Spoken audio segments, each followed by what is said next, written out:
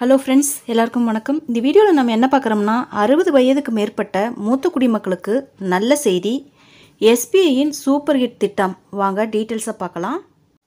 மூத்த குடிமக்களுக்கு நிலையான மற்றும் உத்தரவாத வருமானத்திற்காக பல வங்கி வைப்புகளும் அரசாங்க திட்டங்களும் உள்ளன. இவற்றில் ஒன்று பாரத் ஸ்டேட் வங்கியின் மூத்த குடிமக்கள் கால வைப்பு திட்டம்.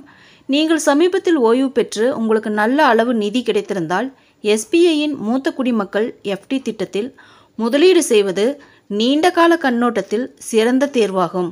எஸ்பிஐயின் இணையதளத்தில் உள்ள தகவல்களின்படி மூத்த குடிமக்கள் எஸ்பிஐயின் எஃப்டி திட்டத்தில் ஏழு நாட்கள் முதல் பத்து ஆண்டுகள் வரையிலான முதிர்வு காலத்திற்கு டெபாசிட் செய்யலாம்.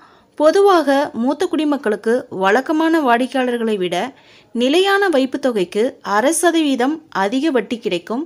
அதே சமயம் மூத்த குடிமக்கள் ஐந்தாண்டுகள் முதல் பத்து ஆண்டுகள் வரையிலான எஃப்டிகளுக்கு ஒரு சதவீதம் கூடுதல் வட்டியை பெறுகிறார்கள். எஸ்பிஐ இணையதளத்தின்படி வழக்கமான வாடிக்கையாளர்கள் ஐந்து ஆண்டுகள் முதல் பத்து ஆண்டுகள் வரையிலான எஃப்டிகளுக்கு ஆறு புள்ளி ஐந்து சதவீத வருடாந்திர வட்டியை பெறுகிறார்கள். அதே நேரத்தில் வங்கி மூத்த குடிமக்களுக்கு ஏழு புள்ளி ஐந்து சதவீத வருடாந்திர வட்டியை வழங்குகிறது. உண்மையில் மூத்த குடிமக்கள் ஐந்து முதல் பத்து ஆண்டுகள் வரையிலான எஃப்டிகளில் எஸ்பிஐ வீக்கர் டெபாசிட் திட்டத்தின் கீழ் கூடுதலாக அரை சதவீத பிரீமியம் வட்டியை பெறுகிறார்கள்.